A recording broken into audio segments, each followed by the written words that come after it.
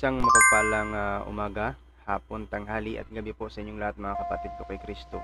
At nandito po tayo ngayon at live sa atin pong ah, YouTube channel Katotohanan at Pag-usapan para po sa ating ah, Ebanghelyo sa pagkakataong ito. So magninilay po tayo mga kapatid para po sa ating Ebanghelyo sa araw na ito. At ang Ebanghelyo po ay ah, kinuha po natin kay San Lucas, no? sa Ebanghelyo ni San Lucas, Kapitulo 20. Ang talata po natin ay 27 hanggang sa 40. Bago yan, mga kapatid, manalangin muna tayo para po sa ating ah, pag-umpisa ng ating pagninilay. Ang ng Ama, ng Anak, at ng Espiritu Santo. Amen.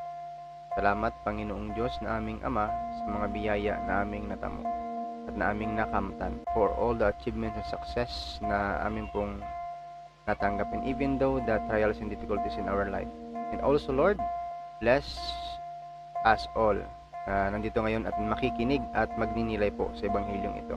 Dalangin namin itong lahat sa iyo, Ama, sa pamamagitan ng kaisa-isang anak ng aming Panginoong sa Kristo, sa pag-iisa sa banal na Espiritu Santo, tama sa panalangin ng aming ng Birhen Maria, Senyor San Jose, lahat ng mga angeles at mga santo sa langit. Amen. Sa pangalan ng Ama at ng Anak at ng Espiritu Santo.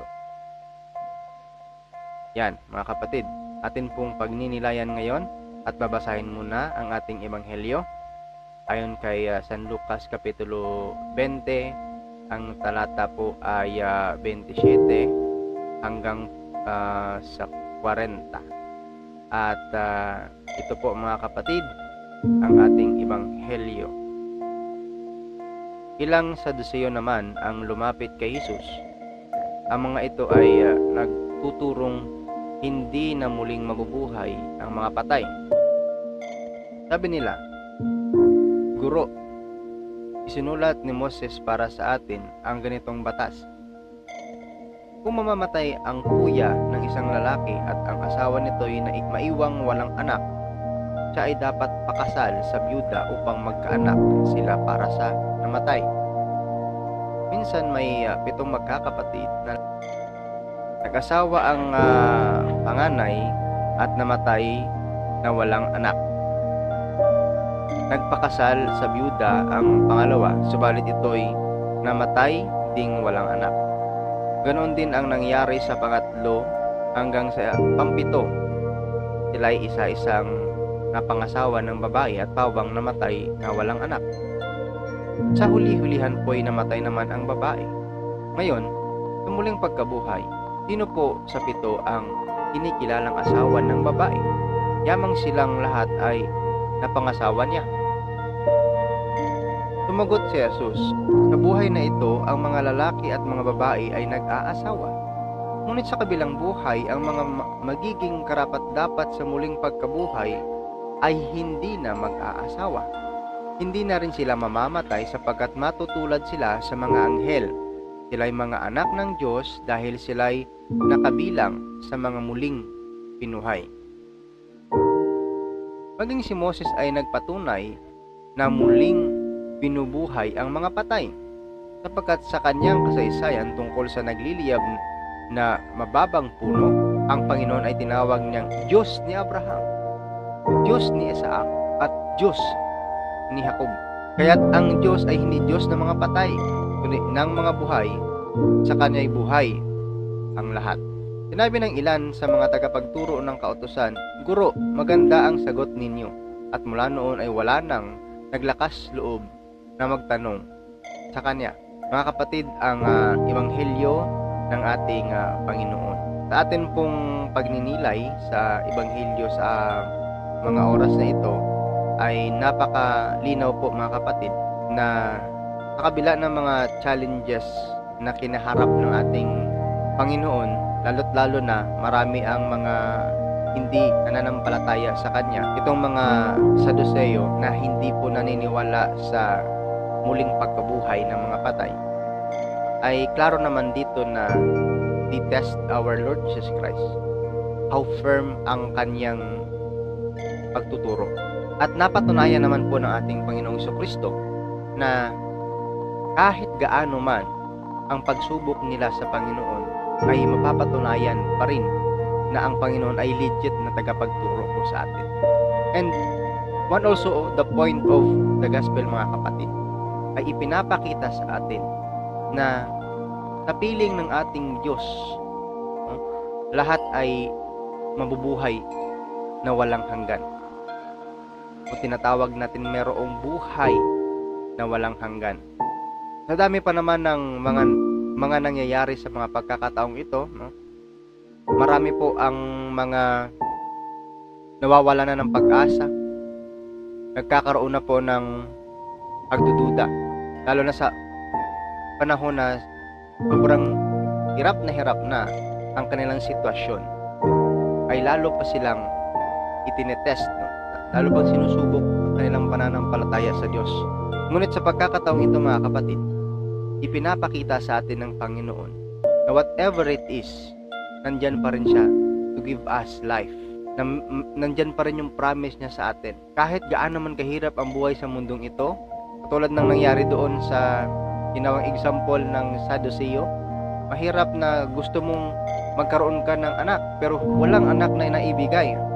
Ito na yung na, naging asawa ng ah, babae pero hindi pa rin siya nagkaanak sa buong pamilyang iyon.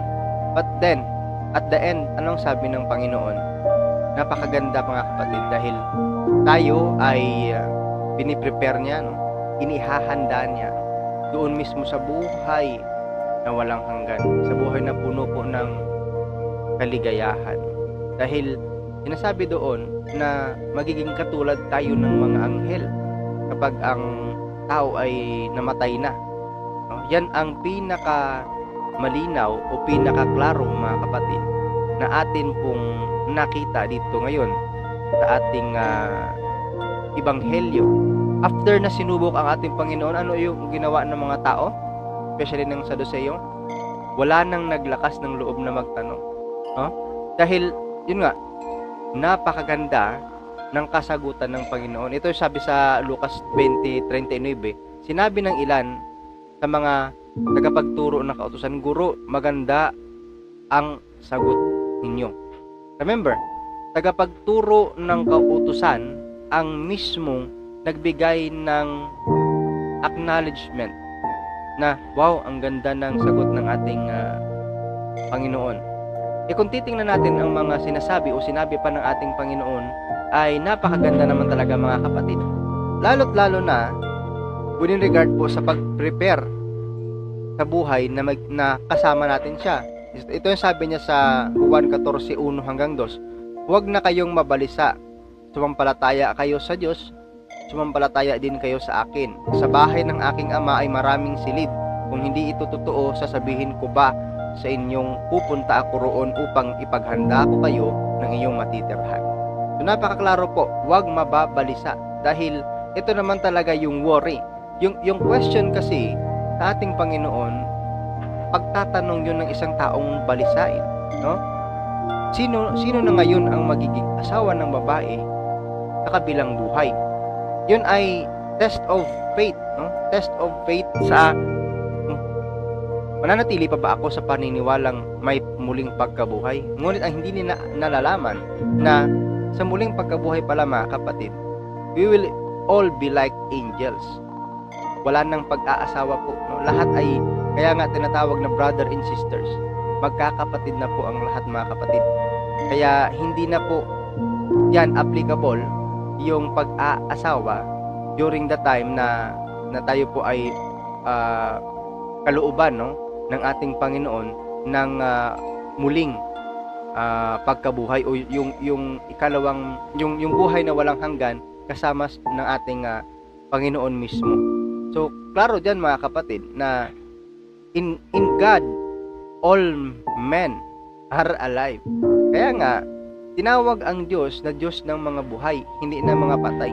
Ang problema kasi mga kapatid, ang description ng mga tao sa ngayon, sa panahon natin ngayon, pag sinabing death or patay, ay may conclusion sila na wala na yon vanish na yon pero mga kapatid kung hindi po mamamatay ang tao wala po siyang buhay na walang hanggan in the same analogy kung isa pong one of a seed example seed of a mango kapag hindi po yan namatay ay hindi po tutubo ang malaking puno. Walang panibagong buhay na magagawa. Ganon din po ang buhay nating mga tao. Ang definition lang naman ang naiiba.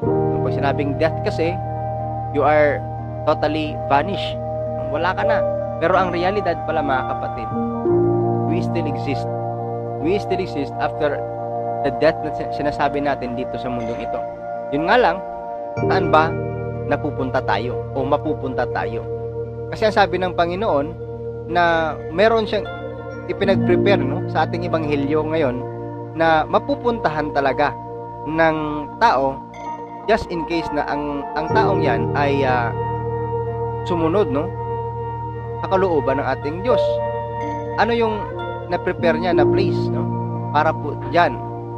Sabi kasi ng Panginoon dito mismo sa ating ebanghelyo no? Na noong sinubok siya ang sagot niya no? Ay ito po. Sabi ng ating Panginoon, sa buhay na ito, ang mga lalaki at mga babae ay nag-aasawa. Yung sabi niya, ngunit sa kabilang buhay, yan, explanation na yun ha, sa kabilang buhay, ang mga magiging karapat dapat sa muling pagkabuhay ay hindi na mag-aasawa. Hindi na rin sila mamamatay. So meaning to say, after the death here on earth, mayroon ka pang buhay na wala ng kamatayan. Hindi na mamamatay sapagkat matutulad sila sa mga anghel. Sila'y mga anak ng Diyos dahil sila'y nakabilang sa muling binuhay. So nakabilang. If we are belong sa muling binuhay, so meaning to say, no, mga kapatid, no, yan ay eternal life talaga. Eternal life talaga yan. So makakamtan ng isang tao ang tinatawag na eternal life not in this earth, in this world.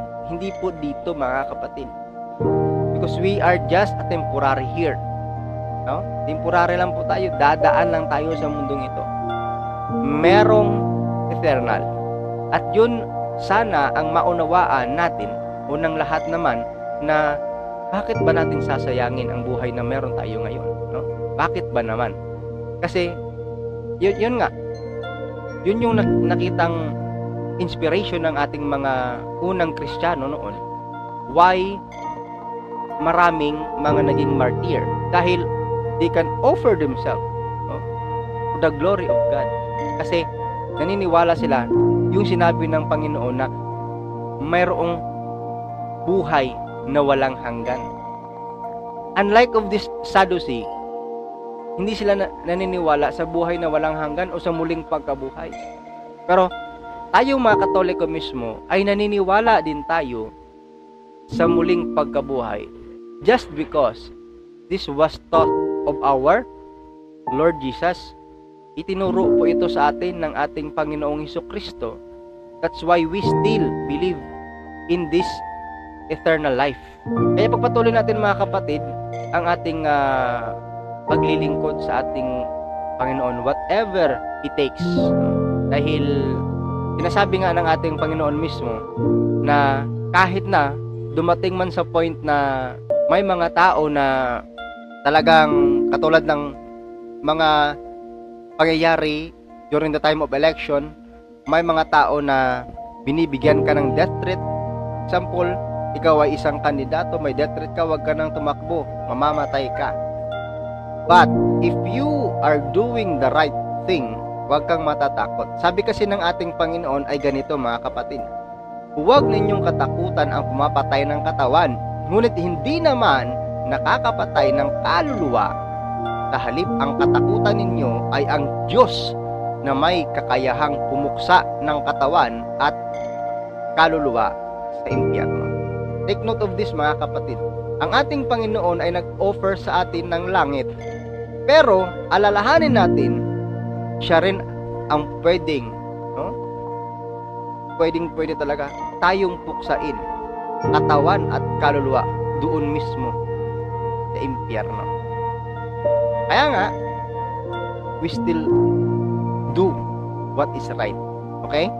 Kailangan ipagpatuloy natin yan mga kapatid. Katulad ng pag-appreciate ng mga tagapagturo ng kautusan nyo mga kapatid ha. They do what is right. No? Sinabi nila, maganda ang paliwanag ng Panginoon. At and after that, walang nangahas na na magtanong sa ating Panginoon. Dahil, yun nga, nakikita po nila how firm ang kanyang mga salita. Kaya nga mga kapatid, ipagpatuloy lamang natin na tayo ay connected palagi no, sa ebanghelyo ng ating Panginoon. Sa Diyos po ang ah, lahat ng papuri at kadakilaan magpakailanman. In the name of the Father, and of the Son, and of the Holy Spirit. Amen. Lord, thank you so much for a, a short uh, gospel reflection that you bless us. Lord, bless all those who are listening right now, even though uh, those uh, uh, their loved ones that is not uh, feeling well or in sick. Heal them all, O Lord, and bless us always to be uh, in, in doing of your good will. We pray this to you, loving Father, through your Son, our Lord Jesus Christ, and with the unity of the Holy Spirit, with the prayer of our Mother Mary, Saint Joseph, all angels and saints. Amen. In the Father, and the Son, and of the Holy Spirit. Amen. Sa Diyos po ang lahat ng papuri, rodeo, at iglesia.